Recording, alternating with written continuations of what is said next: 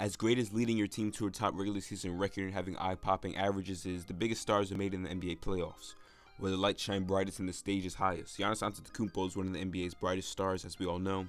while he was on his way to his second MVP and leading the Bucks to their second straight 60-plus win season, while being the best players, one of the best players in the league, it's time to be that guy all the time, all throughout the playoffs. As, at least if he's trying to become the best player in the world and eclipse LeBron James while he's still an MVP candidate and playing at an elite level.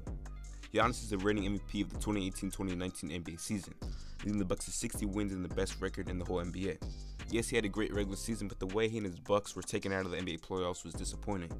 We saw the Bucks win the first two games of the Eastern Conference Finals, then lose four straight games to Kawhi and his Raptors. You've probably heard of the way the Raptors ended up playing Giannis that season, the defensive game plan against him, daring him to shoot the ball, and once he one drive, Toronto had Serge Ibaka and Marc Gasol to meet him at the rim. They basically neutralized him for long points of a lot of those games, even though he was an MVP candidate. He was taken out of the playoffs by a superior player. They didn't make it easy for the MVP at all. I say all this to say, if Giannis wants to become the best player in the NBA, he must perform year after year in the playoffs, like we've seen other guys do. LeBron, of course, Kawhi, Kevin Durant, Stephen Curry, and for Giannis to be known as the best, he has to perform when it matters most every single year against the best. Even after his MVP season, we couldn't put him as the best player in the NBA after the way Kawhi and the Raptors handled him in the conference finals. I'm not going to kill Giannis for the way he played in the conference finals because it was first playoffs as Giannis Antetokounmpo.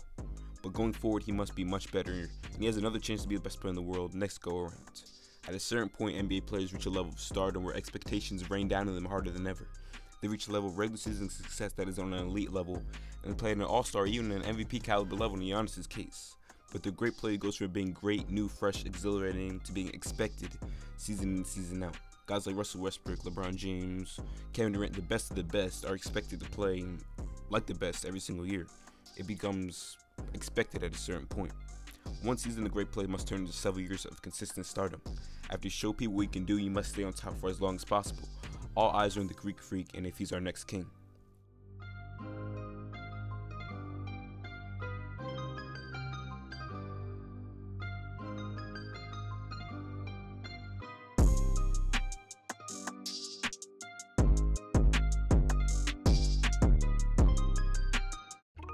When you look at Giannis Antetokounmpo, it's scary how good he could be when he's in his prime. He's only 25 and he's already this good. This year he's averaging 30 points per game, 14 rebounds, and 6 assists while being the leading MVP candidate and having a real candidacy for Defensive Player of the Year, also leading his team to the best record in the NBA once again. The single hole in Giannis' game is his jump shot, and he's been improving that this season. During the season, he was taking about 5 threes a game and shooting about 31% from 3. Big strides from last year. If Giannis is this good now, imagine when he's in his actual prime, about 27, 28, 29 years old. With his jump shot being much more developed and still having the athleticism that he possesses today. As an NBA fan, it's fun to think about Giannis' potential in this league and even his potential on an all-time level. He's so good and so young, and you should be worried about your favorite team facing Giannis if you're not a Bucks fan. whatever team Giannis is going to be in a few years. That raises the question, should Giannis stay loyal to the Milwaukee Bucks or should he take control of his career as early as possible and go somewhere else where a championship is more likely? I've heard teams like Toronto or Miami, which would both be better fits than Milwaukee in my opinion, and the reason is Jimmy Butler, Pascal Siakam, we better as a number two to Giannis than Khris Middleton. Although Khris Middleton is a great player, two-time All-Star, he was almost shooting 50, 40, 90 this season. I don't know if he's enough as a second option to Giannis if the Bucks are trying to win a championship. Giannis is trying to compete for championships right now, and I don't know if the Bucks are his best option. I'm interested to see Giannis' decision, loyalty to Milwaukee or search for a home elsewhere.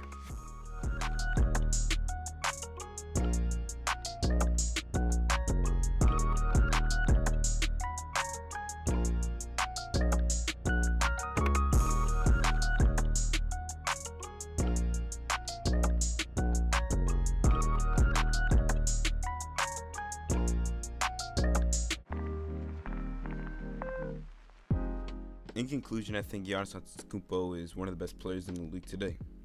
Leading MVP candidate, again, he's a good candidate for Defensive Player of the Year. He could score the ball, defend, pass, rebound. He could do it all.